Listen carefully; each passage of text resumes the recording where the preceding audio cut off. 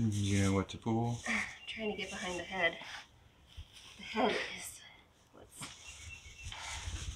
not wanting to come out. I know.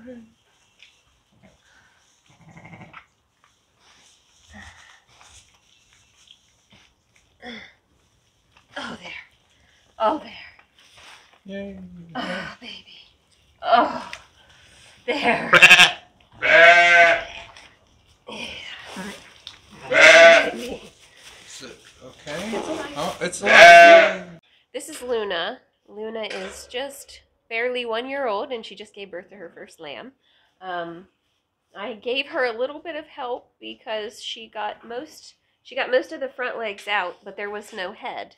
So I uh, I went with some gloves and just pushed those front legs back a little bit and got the head in a better position to come out because the head wasn't wanting to come out. I don't know if it was turned backwards initially, but um, I just had to give her a little bit of help to get the head out, and she she did the rest, and now she's doing a great job being a mom for the first time.